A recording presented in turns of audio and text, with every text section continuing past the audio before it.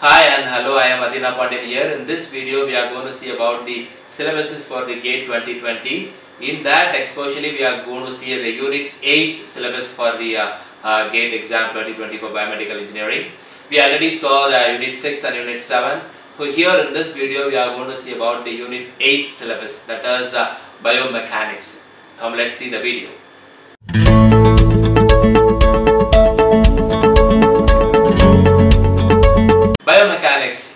Major thing in the research actually because uh, so many research is going on uh, this biomechanics because biomechanics is the basic part for creating any artificial model and everything. Because control system principle and along with the concepts of the biomechanics is very important to frame any artificial implants. So that is why we are they are the IIT people keep this biomechanics in the syllabus.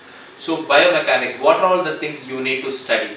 Whatever the things we studied in the physics, that is the engineering physics and in the basic uh, mechanics, you need to recollect everything because the first topic you need to concentrate is engineering mechanics. In that you need to study about uh, uh, what is the basic principle of Newton's law of motion, what are all the laws present in the Newtons and what is uh, center of gravity, what is mass, what is force, what is acceleration, what is velocity, what is the relationship between all these things and what is the correlation between all these things. Each and every basics you need to study over and then in the second topic you need to study the biofluid mechanics. In that biofluid mechanics you need to cover what are the flows that is what is laminar flow, what is turbulent flow, what is Reynolds number and what are all the uh, cardiac fluids that is present in a human body and what is the viscous, viscosity of uh, the human blood and what is viscometers and how we can able to calculate the uh, uh, velocity of the human blood. These are all the things very important in the second topic. In the third topic, you need to study about the soft tissue replacement.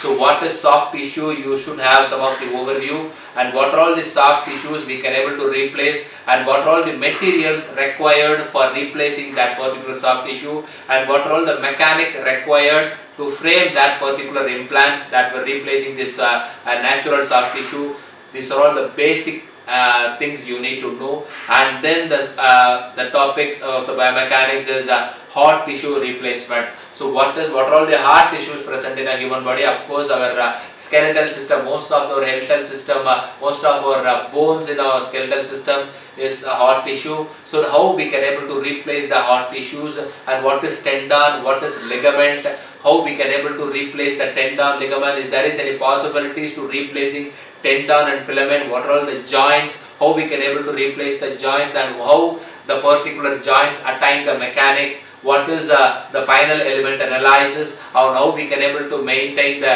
uh, gait process, gait analysis. So these are all the process very important to study the hard tissue replacements.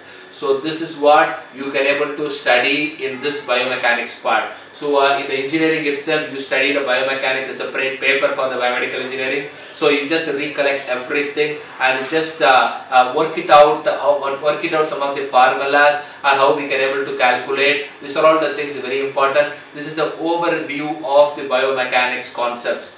So all the best for studying this biomechanics. You can able to uh, score easily using this uh, unit 8 topic from the gate.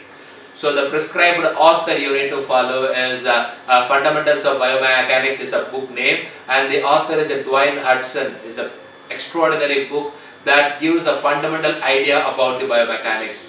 So that's all about the video. Let's see the next video. Thanks a lot. All the best.